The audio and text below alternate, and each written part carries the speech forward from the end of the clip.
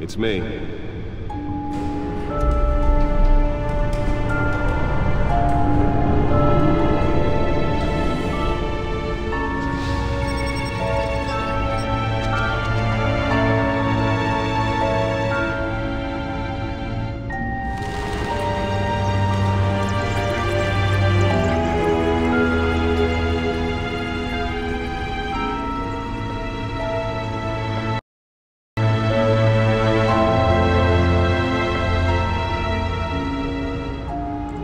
another brutal week in Gotham, folks. A string of